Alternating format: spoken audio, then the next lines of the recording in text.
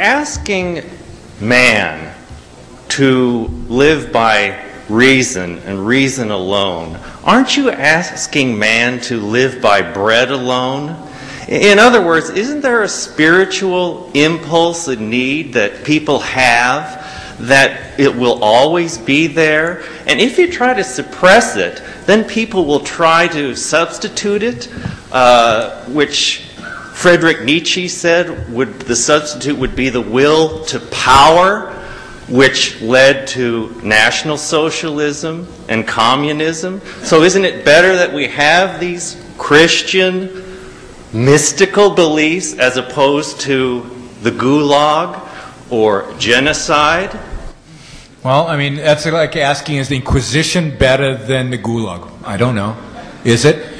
No, the issue is. Wait, wait, wait. wait. Isn't, well, but that's what that's what taking the one idea, like the power lusting, as you mentioned, to its logical extreme, and taking Christianity to logical extreme. So you have to compare apples to apples, and if you're going to compare them, then you have to compare them.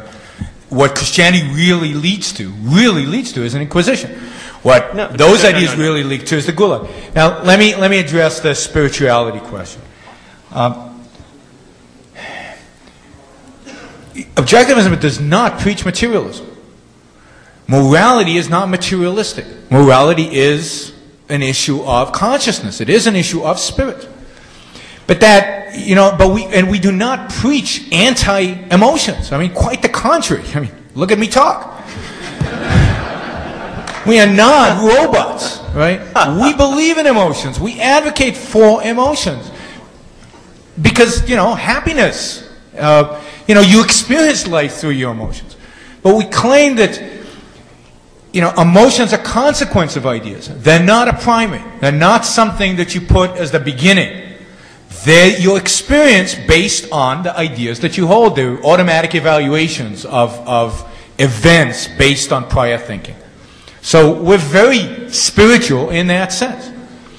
It's also true that there are many avenues for people to experience those kind of emotions. I believe that art is, uh, is one way in which we do that, by experiencing art. But of course, you know, today we have no art, so, you know, or, or very, almost no art is being produced today, so we're, we're very poor and therefore we look for substitutes.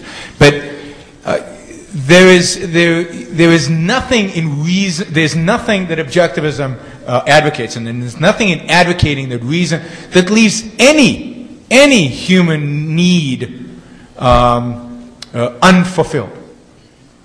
Because reality is rich with opportunities for us to experience, you know, every, anything, anything imaginable.